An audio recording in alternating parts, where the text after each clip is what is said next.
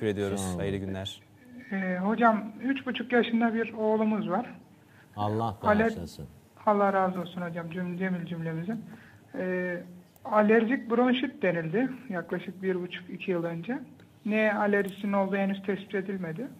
Evet. Bu, bu aylar geldiği zaman kış aylarında burun akıntısı, geniz akıntısı ve gürültülü şiddetli öksürük başlıyor. Tamam. Ee, ilaç tedavisine, doktora gidiyoruz. İlaç tedavisine başlıyoruz. Buhar tedavisi oluyor bu genelde. Hı hı. Ee, ilaçları bıraktığımızda veya azalttığımız zaman e, bir hafta 10 gün sonra tekrar şikayetlerimiz başlıyor. En çok ne zaman hangi aylarda çıkıyor bu? Hocam Aralık ayında yani bu ayda başlıyor. Evet. Aralık ayında başlıyor. Tamam. Bu Aralık, Ocak, Şubat, Mart Tamam. aylarını biz e, sıkıntılı geçiriyoruz. Peki. Mehmet Ali Bey söyleyeyim ben size. Siz gene hatta kalın belki soracağım bir şey olabilir. Kış kışın daha şiddetli diyor. Demek ki soğuk alerjisi var. Evet. Hadi bak şimdi gene söyleyeceğim. Yıllarca şarlatanlık dediler bu işlere. Çerçöp dediler koca karı. Hadi çözün bakalım soğuk alerjisinin tıpta tedavisi var mı yok mu? Yok.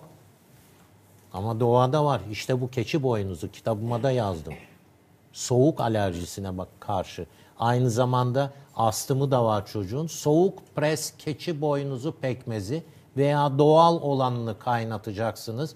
5-6 tanesini kırın 1,5 bardak suda 7-8 dakika kaynatın. Yarısını sabah içsin, yarısını akşam içsin. Bu bir, bu alerjiye karşı direnç kazandıracaktır. Soğuk alerjisine karşı tıpta yapabilecekleri hiçbir şey yok şu an, bugün. Belki bir ay sonra bir şey bulunabilir. Ee, keçi boynuzu. Bunun dışında yapacağı şey o öksürük için hatmi çiçeği. Hatmi, gül hatmi de denir. Kübra kızım çıkart getir şuraya şeyi. Nerede o e, bizim hatmi senin o şeylerde var mı? Getirin. Evet. 5-6 tane 5-6 tane hatmi tomurcuk çiçeği e, yarım bardak suda 5 dakika kaynatacaksınız. Ilıdıktan sonra bunu içecek. Çocuğunuza süt içirmeyin. Süt. Bu alerjiyi tetikler. Evet.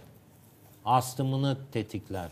Evet. Bu gördüğünüz resimdeki gibi şöyle 5-6 tanesini alın. Şu kadar işte yarım bardak suda evet şuraya ayırdığım kadar 5-6 bilemedin 7 de olur.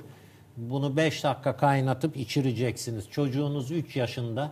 Ben çocuklara sadece alerjik astım için veya astım için bir şeyler öneriyorum. Veya e, öksürükleri için bu hatmiyi ve keçi boynuzunu Allah çok ama çok faydasını görecek. Ama kış aylarında çıkıyor diyor Mehmet Ali Bey. Evet. Bursa'dan arayan. Bu da nedir? Yani alerjisi var ama alerji astımı da tetikliyor otomatikmen. Bu da soğuk alerjisi var. Yazın yok. Kışın oluyor soğuk alerjisi. Allah keçi boynuzu soğuk alerjisi olanlar kurtuluyor bundan. Ender rastlanan bir şeydir. Ee, bunu önermiş olalım. Hocam e, Efendim. hocam bu önermiş olduğunuz kürleri çocuk küçük olduğu için e, ne kadar süreyle e, Bir ay uygulayın, bir ay. Sabah bakın isterseniz bu kaynatmak filan zor oluyorsa e, keçi boynuzu pekmezi alın soğuk pres. Onu bir kaseye dökün. Çünkü ilk her açtığınızda o koku biraz keçi boynuzunun kokusunu çocuklar da yetişkinler de pek sevmiyor. Kaseye dökün onu yoğurt kasesine açıkta dursun. O itici kokusu olmayacaktır. Sabah bir tatlı kaşığı, akşam bir tatlı kaşığı vereceksiniz yatmadan.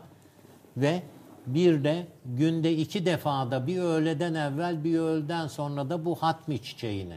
Bu ebegümeci familyasındandır. Resmini de e, değerli yönetmenimiz gösterdiler. Evelallah Anladım. herhangi bir yan tesiri de yoktur. Rahatlıkla kullanabilirsiniz. Geçmiş Anladım. olsun Mehmet Ali Bey yavrunuza. Teşekkür, teşekkür ediyorum. Allah razı olsun. Çok İyi teşekkür ederiz. Hoşçakalın. Sağ olun.